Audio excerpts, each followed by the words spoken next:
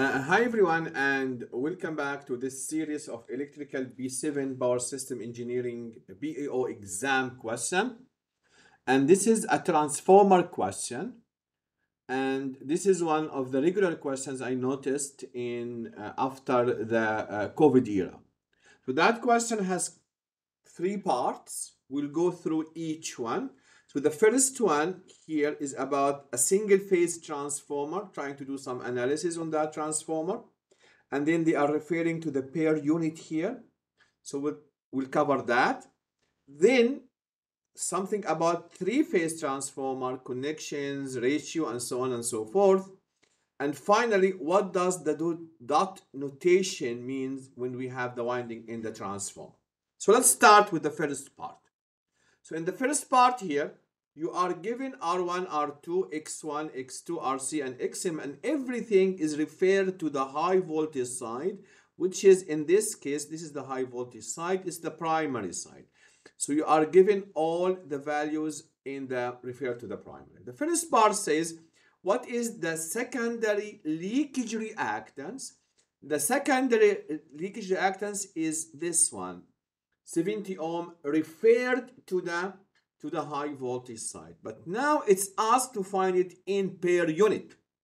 So X in per unit is equal to X in ohm divided by X base, the base value.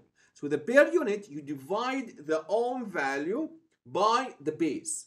Now the base, X base or Z base is equal to the voltage square divided by S.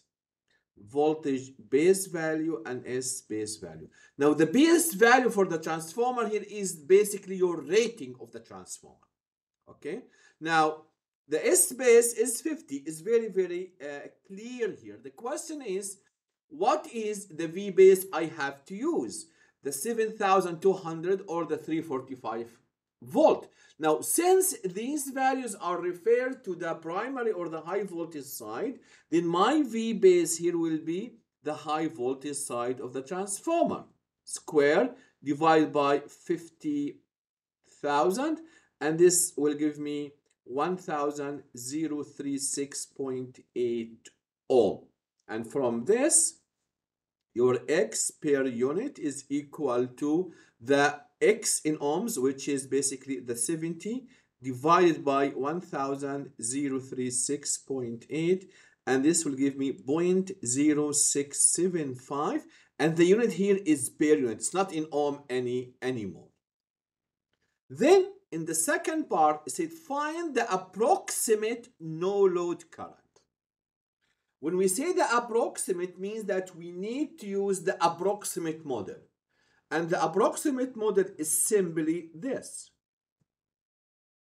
So we add both the reactance and the resistance together and we'll put them in one side. So here this is basically your R1 plus R2 this which is equal to 25 ohm and this is X1 plus X2 which is J145.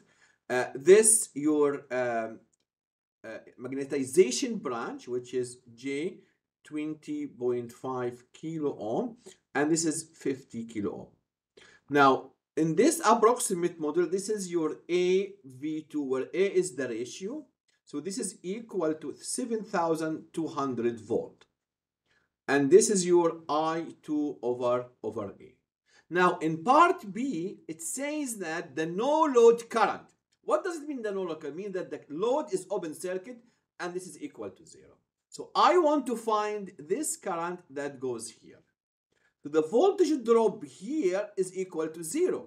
So the voltage at the primary, V primary, is actually also 7,200. Okay.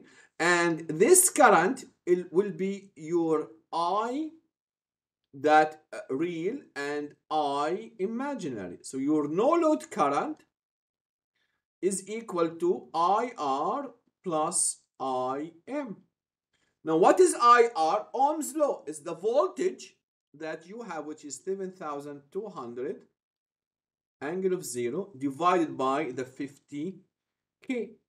50,000 plus the other current, the magnetization current, the same voltage because these two are in parallel, divided by J 20.5 between 0.5 times 10 to the power 3, of course. Okay, so that is the no load current. If you do that, you will find the current is basically equal to 0.38 angle of minus 67.69. So that is your total no load uh, no load current. Okay, so this is in basically amp, and usually it is very small com compared to the to the full load uh, current. Then it says here find part C find the approximate copper loss. What is copper loss? It's the loss in the 25 ohm. So I need to find I2 over A, which is basically your S, which is 50 times 10 to power 3, divided by AV2, which is the 700 to 7200. And this will give my current equal to 6.944 amp from this P copper loss is equal to I2 over A square times R, which is basically equal to 6.944 square times R, which is the 25, and this will give me a total loss in the copper in the winding 1,205 watt, 1,205 watt. Then here it says find the also we need to find the approximate unity uh, at, uh, at the approximate unity power factor what is the full load efficiency? What is the efficiency of basically my motor so let me just please uh, let me insert a page here. Let me insert a page. Okay so let me uh, have this here.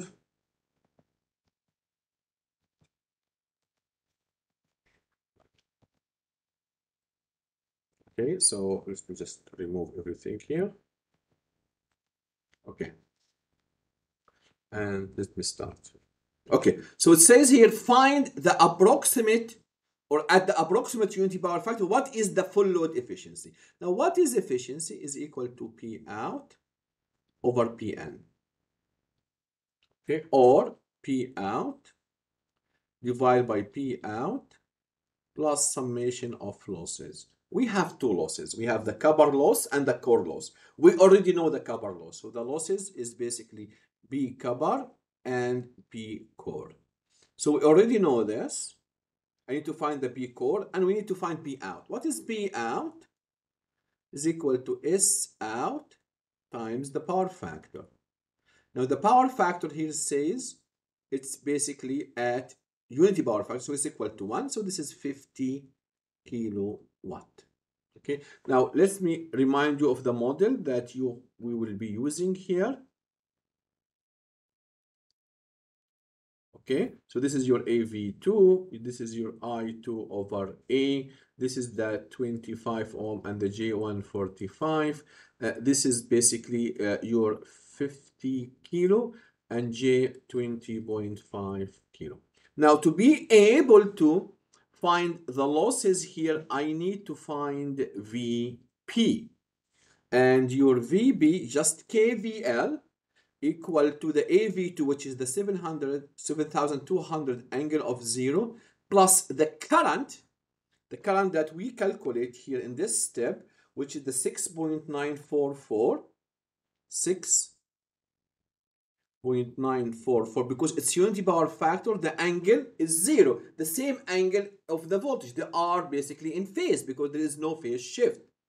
Times the 25 plus j 145 and this will give you VB equal to 7442 angle of 7.78 so that is the voltage here at the primary side and from this, you can find the P core is equal to the V primary square divided by RC or the 7442 square divided by the 50 kilo and this will give me 1107.7 watt.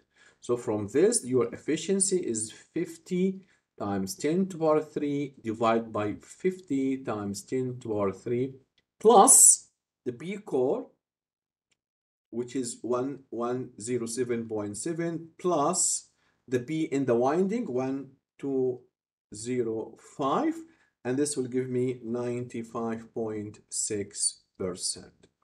Now in part E, the approximate primary voltage when delivering a rated unit power factor load at the secondary, which is basically at the same condition at D, which we already found it here. That is your, your voltage. So that is the first part of the question. Let's see the second part in that question. Now assume that this single phase transformer has been connected as a Y delta. Draw the wiring diagram showing how the transformers are connected including the three-phase input and the three-phase output. So basically here we will have three transformers. One, this is the second transformer, and this is the third transformer. So how to connect them as Y and delta? The primary is Y. So basically here, this is the phase A, the B, and the C. And then this is the common neutral. So all of this will be a common point, and that is your neutral. So we have four wire system. That is how you connect the Y. How to connect the delta? You connect the end of one winding by the starting of the other winding. The end by the starting. The end by the starting and then we will have one this is phase A phase B and phase C. So that is how you do the wiring diagram for the transformer. What is the power rating? Very straightforward. We have a three transformer. Each one is 50 kVA. So the S or the P so S of the three phase is equal to 3 times S of the single phase, which is equal to 150 kVA. What is the effective turns ratio of the transformer? So the turns ratio of the transformer is basically the line-to-line voltages, okay? So basically it's the voltage line of the primary divided the voltage line of the secondary.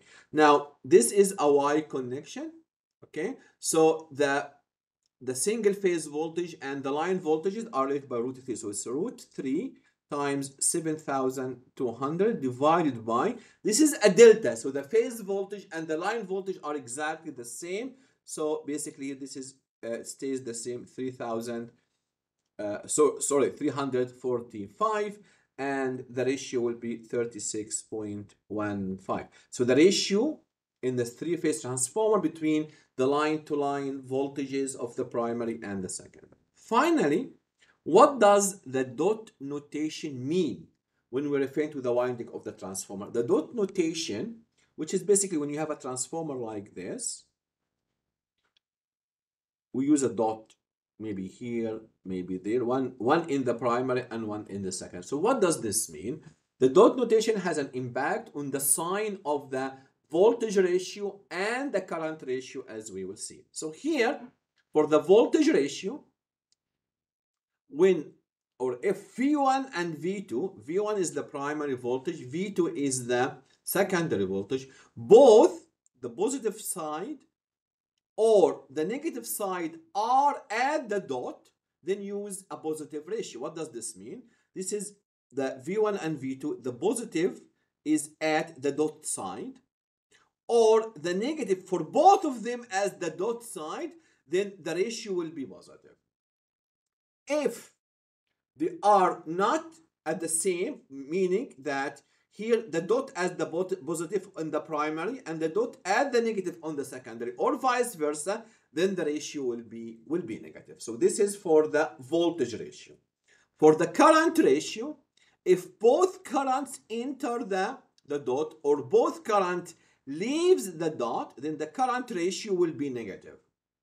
If one is entering and the other is leaving, then the current ratio will be, will be positive. Okay, so that is a comprehensive question about uh, transformer that covers uh, almost everything that you need to know about about transformers.